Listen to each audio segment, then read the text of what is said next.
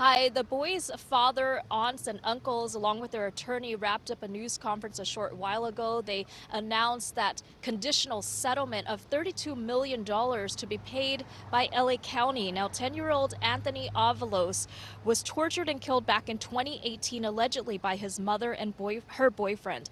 Heather Barron and Kareem Leiva are awaiting a criminal trial. Now, Anthony's father, Victor Avalos, sued LA County about three years ago. His attorney announced today that the county has tentatively agreed to settle and pay $32 million to Anthony's father and three of Anthony's half siblings who were also allegedly tortured. Anthony, uh, rather, attorney Brian Claypool said DCFS was notified 13 times of abuse within that home, but they dropped the ball. They didn't give Anthony the lifeline he needed.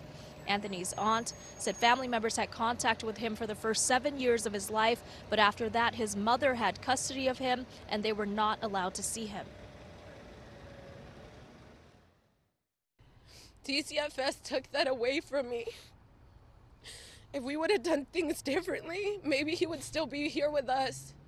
You know, I I put all my trust and faith into a system that at the time I didn't know was broken.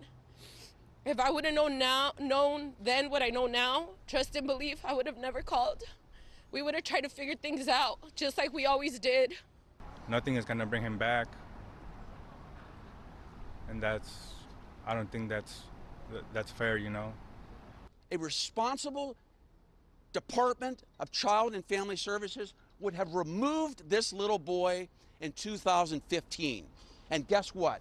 He'd be alive today and he'd be smiling today, but for DCFS miserably failing this little boy.